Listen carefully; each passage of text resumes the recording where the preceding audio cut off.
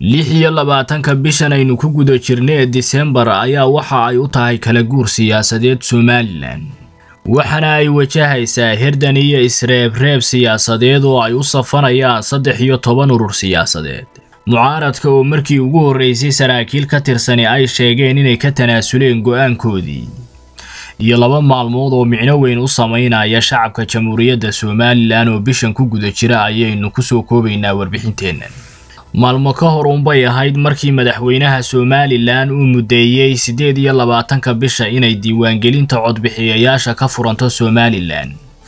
Micno weyn ayay ugu fadhidaa shacabka somalilan maadaama oo ay awood helayaan ay fartooda ku kala saaraan siyaasiyiinta wakhtiga kan hanka leh ee gudaha somalilan ka jira sida oo kale waxay micno kale u samaynaysaa tobanka urur siyaasadeed ee ka soo baxay isreebreebka doorashada iyo madax taabashada maadaama oo taageerayaashoodu ay helayaan kaarhka codbixinta si ay ugu hiiliyaan oo saddex ka mida uga dhigaan xusbiyo qaran. Waxaase ka horraysa lix iyo labaatanka disembar oo ay dhacayaan ruqsaddii ay haysteen saddexdii xusbi qaran ee tobankii sannadood ee ugu dambeysay saaxada siyaasadda somalilan ku jiray shacabkuna waxay wakhtigan xaadirka ah u hamuun qabaan siyaasiyiin cusub kuwaasi oo dardargeliya siyaasadda arrimaha dibadda iyo siyaasadda arrimaha gudaha ee somalilan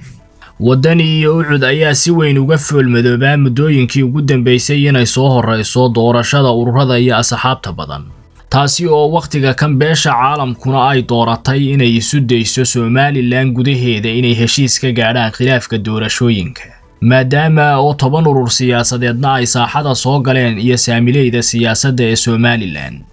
laba sarkaal oo ka tirsan isbaahaysiga mucaaradka ah ee somalilan ayaa waxa ay sheegeen in doorashada laga heshiinayo tan soo horrayn doonta. Haddii ay xukuumaddu diiday tanaasulla inay iyagu tanaasuli doonaan oo geli doonaan doorashada ururada iyo asxaabta badan waa sida ay hadalkooda u dhigeen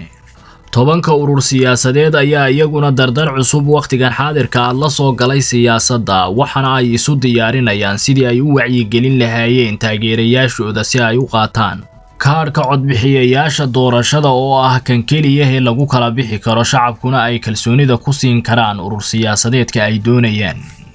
Ka farxi ehelkaaga asxaabtaada iyo qaraabadaada. Oo la soo deg abka dahabshiil si aad si fudud lacag ugu dirto. Marka aad la soo degto ablicathonka dahabshiil ee aad lacag ka dirayso isticmaal koorka khadmad la'aanta ee tree free oo kuu sahlaya in saddexda jeer ee ugu horreeya ee aad lacag dirayso aan wax khadmad ah lagaa qaadin.